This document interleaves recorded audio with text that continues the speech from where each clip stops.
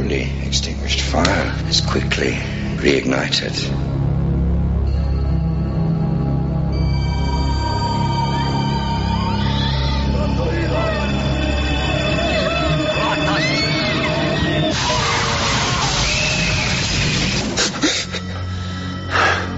As a boy, he witnessed a terrible crime. She was sacrificed as part of a demonic ritual.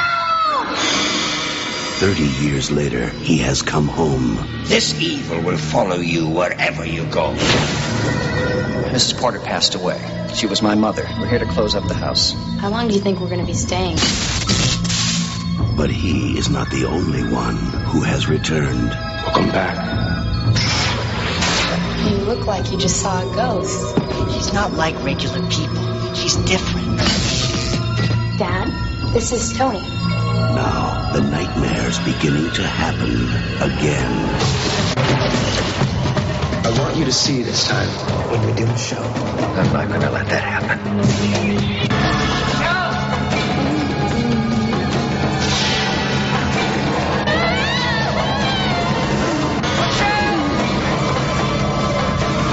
Sometimes they come back again.